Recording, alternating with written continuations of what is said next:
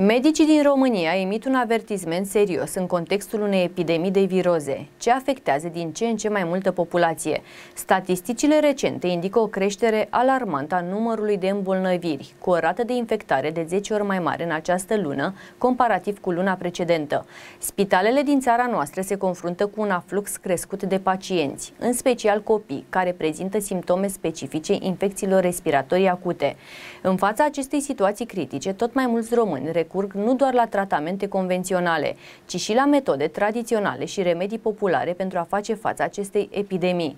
Persoanele în vârstă, copiii și bolnavii cronici sunt cei mai expuși în această perioadă la contactarea diferiților virus care determină virozele respiratorii. În sezonul virozelor, tot mai mulți români apelează la metode tradiționale pentru a combate simptomele răcelilor și gripei. Deși medicina modernă oferă soluții eficiente, mulți preferă ceaiurile din plante, mierea, lămâia și inhalarea aburilor pentru a se recupera mai repede. Ceaiurile de tei, mușețel sau soc rămân în topul preferințelor, având proprietăți antiinflamatoare și calmante. Vedem spitalele pline de bolnavi. Cum vă protejați dumneavoastră împotriva acestei viroze?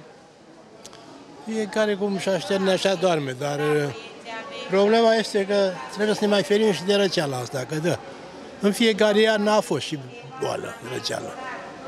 Ați făcut vaccinul antigripal sau apelați la metodele tradiționale? Dar până acolo am făcut pe toate.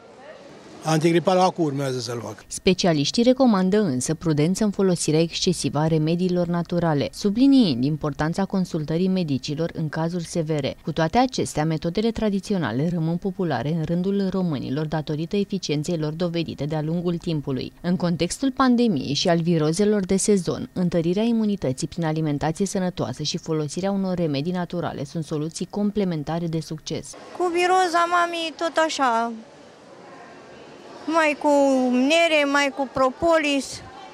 Îmi pregătesc eu propolis.